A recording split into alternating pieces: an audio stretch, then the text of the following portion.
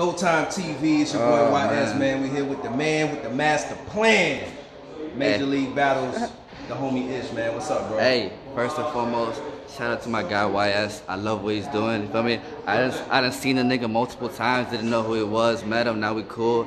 I just love it. Shout out Go Time TV. Shout out, shout out the whole the Florida movement. Shout out everybody who came out today who's still coming out, man. We got NXT, Payzay, we got drugs in the building, we got Fred, M3S3. I don't know why I'm whispering, but whatever. You know what I'm saying? Right. I just love this shit, bro. And I appreciate y'all for coming out, feel me, doing the doing what y'all do. I love y'all, man. I appreciate all y'all, bro. Real talk. You know what I'm saying? Hey, man, we appreciate you, man. So, look, man, what made you put a card together like this, man? Well, made me put a card together like this, bro.